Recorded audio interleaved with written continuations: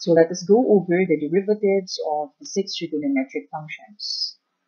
So we have the derivative of sine x is equal to cosine x.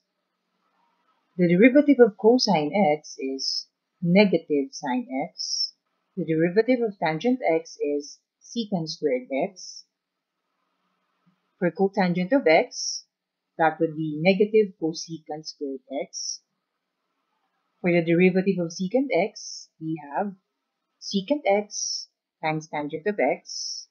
And for the derivative of cosecant of x, we have negative cosecant of x times the cotangent of x.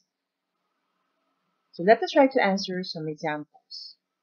Let's say we have the derivative of 2 sine x. So the constant multiple theorem, we can have this as 2, the derivative of sine x. And therefore, based from our previous formulas, we have 2, and then the derivative of sine x is cosine x. Another example, let's say we have 4 sine x minus 3 cosine x.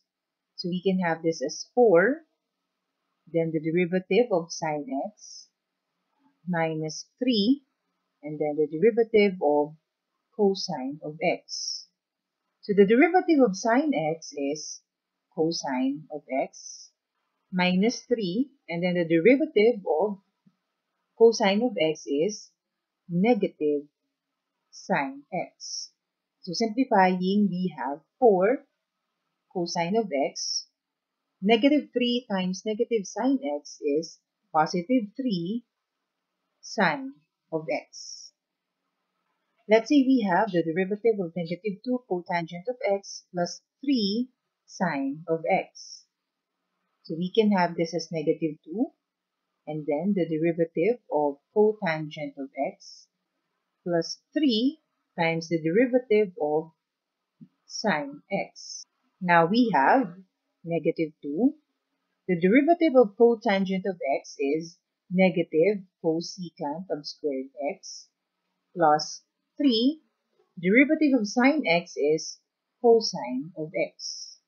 So simplifying, negative 2 times the negative of cosecant squared x is positive 2 cosecant of squared x plus 3 cosine of x.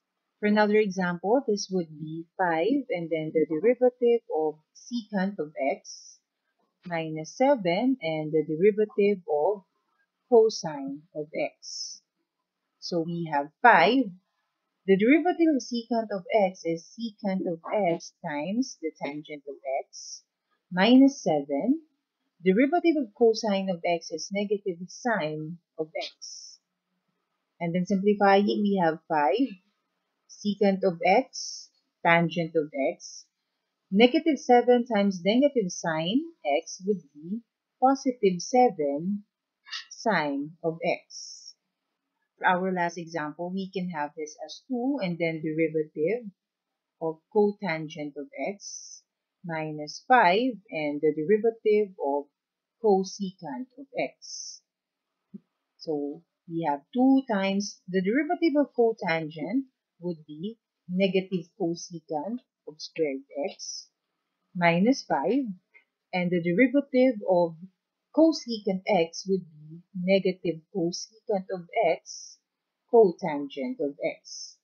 So simplifying, we have 2 times the negative of cosecant squared x is negative 2 cosecant of squared x and negative 5 times the negative of cosecant x cotangent x would be positive 5 cosecant of x cotangent of x.